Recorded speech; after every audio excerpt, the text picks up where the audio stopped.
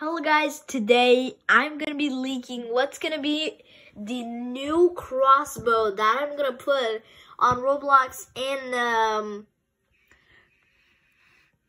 and um I don't know like in uh in Snow uh, Snow Zone Wars and Fortnite Battle Royale because you know there's a lot that I've put it on Fortnite Battle Royale which I've leaked a bunch of stuff, even this crossbow, which is going to be the most powerful uh, crossbow in, in the entire Roblox history.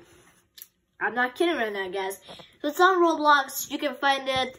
Uh, the Hot for Fun community is loving the games, like I always say. We created a new community, which is Hot for Fun, Hot for Fun in Canada company, Hot for Fun team, Hot for Fun community. Now we have Games for Fun Community Roblox.